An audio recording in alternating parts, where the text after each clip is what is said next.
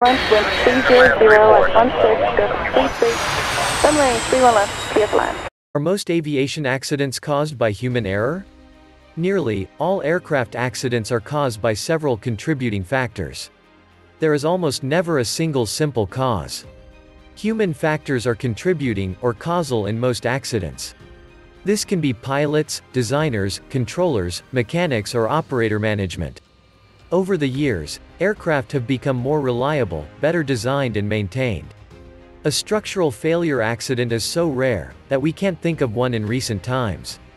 Weather can certainly contribute to accidents, but to pilots can deviate around thunderstorms, fly to an alternate airport, or elect not to fly in certain weather such as freezing rain, so it's hard to say that weather causes an accident. However, weather conditions can make flying or landing much more challenging. According to the Federal Aviation Administration FAA, human error is the leading cause of both commercial airline crashes and general aircraft accidents. More than 88% of all general aviation accidents are attributed to human error, especially due to loss of control by the pilot during flight. Pilot error may be the most common type of human error in aviation accidents, but they are not solely responsible.